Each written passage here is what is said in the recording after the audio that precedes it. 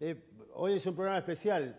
Se cumple un nuevo aniversario, ayer se cumplió un nuevo aniversario de eh, la Revolución Libertadora, aquel movimiento que derrocó a general Juan Domingo Perón el 16 de septiembre de 1955, previo bombardeo Plaza de Mayo, previo Corpus Christi. El peronismo llega en el año 46 a partir de eh, aquel yo no lo llamo golpe de Estado lo del 43, a diferencia de mucha gente. Yo no creo que eh, lo del 43 haya sido un golpe de Estado, sino que fue la interrupción de un periodo del final de la década infame, eh, lo del 43. Yo no lo pongo al nivel de, los otros golpes, pero vamos a debatirlo aquí en el programa.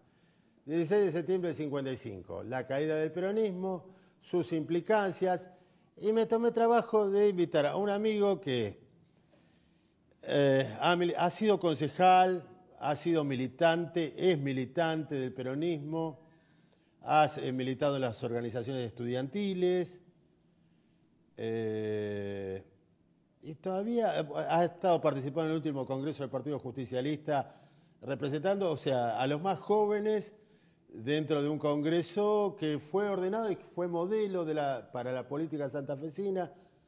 ¿Qué tal, Rodolfo Maggi? Yo te presento porque sos mi amigo.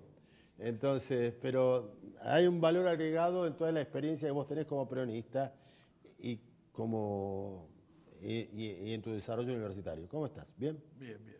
Te quiero aclarar algo. Sí. Mi primer cargo que tuve alguna vez fue delegado de fábrica, antes de ser estar en la universidad. A los 18 años me eligieron en la fábrica delegado. Vos estudiaste en la UTN. En la UTN, siempre en trabajé. En la Universidad de los Trabajadores. Exactamente. Eh, yo el contacto que tengo con el 55, eh, y, vos tampoco, vos, no, Yo nací en el 50. Por yo nací en el 50, pero tengo, tengo recuerdos. Del día del golpe, el movimiento que hubo en casa. Después... Este, ¿Tus hijos eran peronistas? No, mi padre no tenía una posición política definida, pero cuando alguien abrió la puerta, gritó en el patio de mi casa, estaba jugando, hay revolución en Buenos Aires, y cerró la puerta, mi madre dijo, este está contento porque es antiperonista. El primer recuerdo que tengo y tiene una este, significación importante, porque toda la vida mi, niñez en la escuela, ver las discusiones, la portera que se enojaba con la directora de la escuela porque no retaba a un chico que puso en el piso Villa Perón a los seis años. este, es decir, una pelea que hoy la vuelvo a ver. Los chicos reproducían, ah, yo digo mi generación, reproducen lo que dicen los padres en la casa. Lo que ven en la casa. Entonces un chico de seis años era maltratado porque se lo puso frente a toda la escuela, porque si no la portera decía que iba a hacer la denuncia al Ministerio de Educación, que la directora permitía que alguien hablara del dictador prófugo. Entonces la directora asustada puso, formó toda la clase, de toda la escuela, en el patio, y ese chico de ese año lo retaron públicamente por haber escrito eso. Eh, esa es la, implicancia. Bueno, ya en, el relato personal, eh, yo me acuerdo de, mi papá, que era delegado de la Unión de Estudiantes Secundarios. Eh, bueno, se, meses preso. Me lo nombraba mucho a Martínez Raimonda y a varios más que eran los voceros de, bueno, fueron expulsados, la Revolución Libertadora. Fueron expulsados muchos. Yo conocí gente que no pudo terminar su secundaria por haber sido dirigente de la UES. Fueron expulsados, presos. Por eso hay varios tópicos en esto, perdóname que te interrumpa, Rodolfo. Está el emocional y está el racional. Sí. Eh, uno tiene una ligación, una, eh, una raigambre, una historia de pertenencia a. Yo me tocó a mí militar en la universidad, dentro de la Juventud Universitaria Peronista. Digo, pero, eh, ¿qué significó ese 16 de septiembre de 55, más allá de un golpe de Estado? Eh, ¿qué, implicó? A ver, ¿cuál es la lectura eh, política de bueno, eso? Es decir, lo que significó es volver a empezar otra vez a tratar de construir una nación.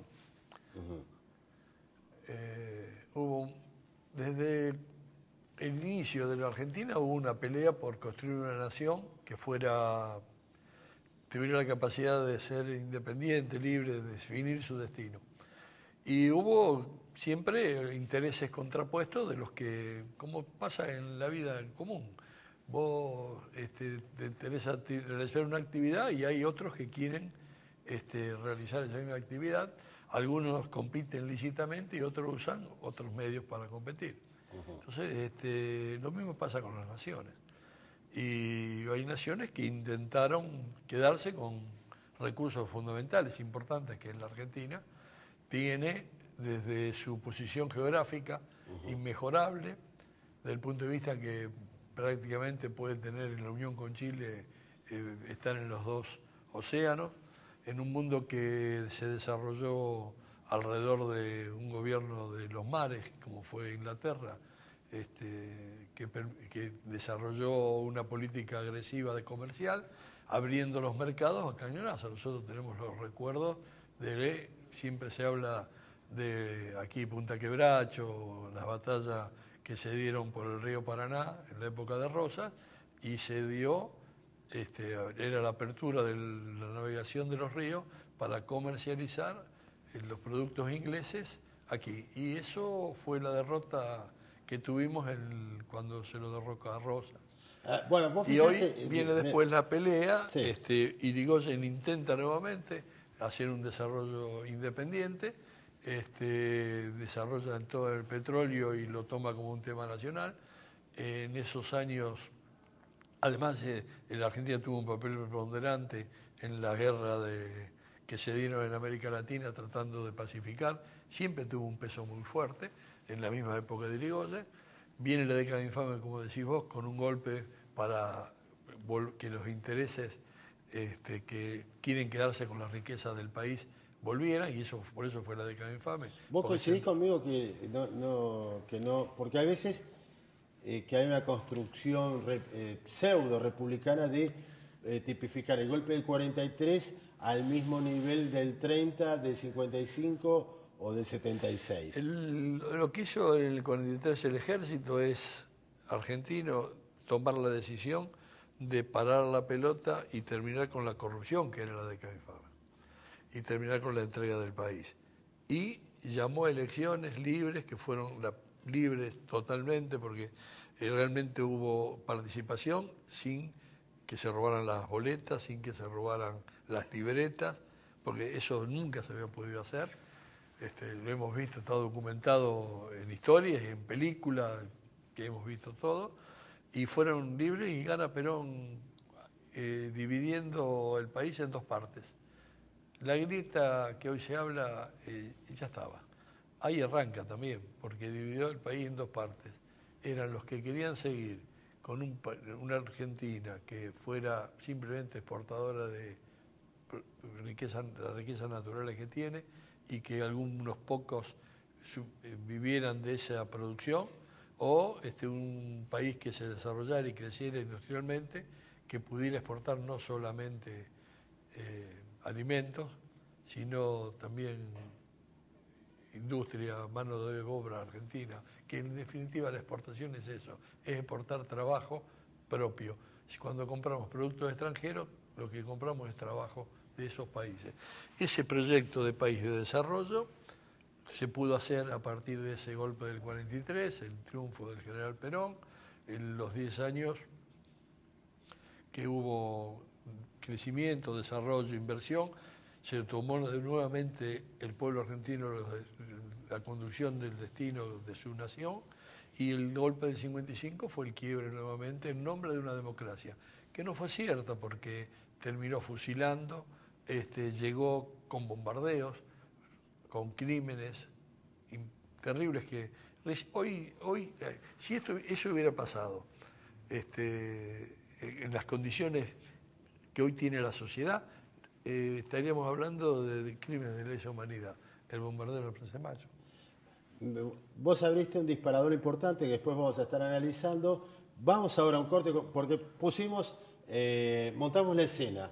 Ahora vamos a, en el segundo bloque, vamos a desarrollar un poco más esto. Vamos, tenemos algunos materiales audiovisuales de este nutrido archivo que empezó a aparecer, estuvo mucho tiempo escondido, vos me vas a contar por qué se escondió tanto, eh, pero esto va a ser en el próximo bloque. Vamos a un corte comercial y seguimos en esta edición especial de, de La Divina Comedia.